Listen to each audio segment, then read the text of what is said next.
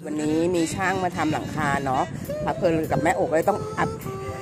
ย้ายหินฐานมานั่งตรงหน้าครัวค่ะ เพราะว่าไม่งั้นพระเพลินมันจะไปกวนช่างเขาเนี่ยเดี๋ยวจะเอาขึ้นบ้านละ เดี๋ยวรอป้ามาก่อนพอดีป้าไปเอาของช่าง เอ้ยไม่ต้องเห่าไม่ต้องเห่านี่ค่ะช่างมาไป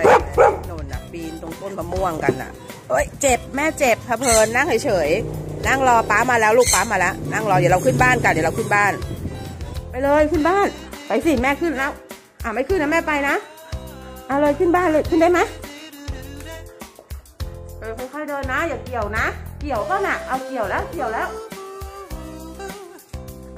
ไหวไหมไหวไหมเอาไปไปไปไปไปไหวไหมเอาพังไปเร็วเร็ว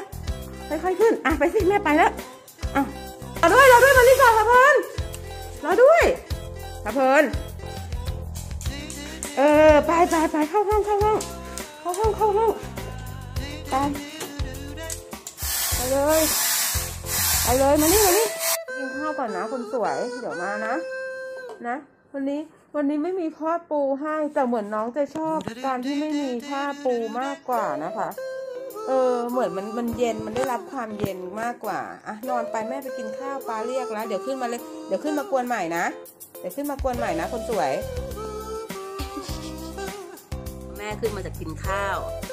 แล้วก็เป็นหน้าที่ที่แม่กลับขึ้นมาต้องให้ขนมใช่ไหมคะแล้วน้องต้องทำยังไงกับแม่ก่อนคะถึงจะได้กินขนมทำหน้ายิ้มยิ้มก่อน ลุกมาเร็วลุกเปล่า กินหรือเปล่าหนึ่ง